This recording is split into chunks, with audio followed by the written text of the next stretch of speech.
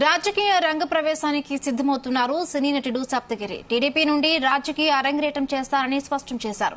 చిత్తూరు జిల్లా నుండి పార్లమెంటుకు గాని అసెంబ్లీకి గాని పోటీ చేస్తానన్నారు. చంద్రబాబు లోకేష్లు ఏమి ఆదేశిస్తే అది చేయడానికి సిద్దంగా ఉన్నానన్నారు సప్తగిరి.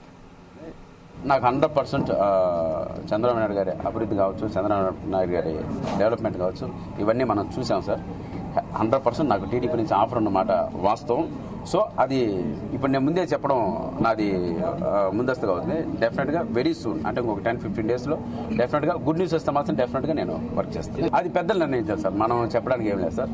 డెఫినెట్గా వాళ్ళు ఏ నిర్ణయిస్తే దానికి నేను కట్టుబడి ముందుకు నడుస్తాను. ఇస్తే డెఫినెట్గా హండ్రెడ్ పర్సెంట్ నేను నిజాయితీతో నిబద్ధతో ఇండస్ట్రీలో ఏ విధంగా అయితే ఒక క్రమశిక్షణ జరిగి ఈ పేరు సంపాదించుకున్నానో డెఫ్ పాలిటిక్స్లో కూడా అదే విధంగా డెఫినెట్గా నిజాయితీతో నిబద్ధతో క్రమశిక్షణతో పనిచేస్తానని మనస్ఫూర్తిగా నా చిత్తూరు జిల్లా ప్రజలకి నేను ప్రామిస్ చేస్తున్నాను. ఏం లేదు సినిమా వల్లే నాకు రాజకీయ అవకాశం వచ్చింది.